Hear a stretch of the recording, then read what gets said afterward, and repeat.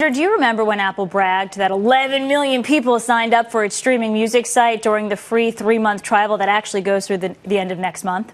Well, there's a new survey out. It's from MusicWatch.